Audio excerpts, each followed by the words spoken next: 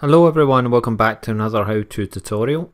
In this video I will show you how to remove a post from a Facebook group.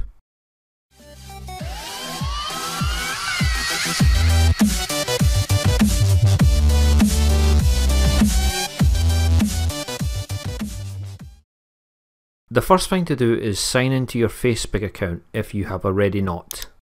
On the left hand side of the page, look for groups.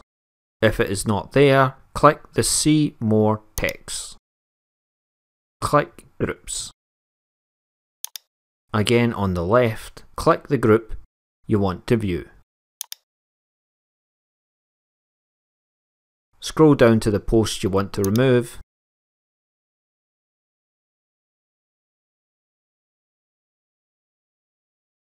Click the three dots and scroll down and click Remove Post. A new window will pop up with options for additional actions. Click Confirm. Now the post has been removed from the Facebook group. You have been watching a how-to tutorial from David Reilly. If you liked this video, give it a thumbs up and don't forget to hit that subscribe button. To receive notifications about every new video, you can also turn on the notifications bell by clicking or tapping it. You can also leave a comment down below. Your ideas and suggestions are always welcome. Until the next time, take care everyone.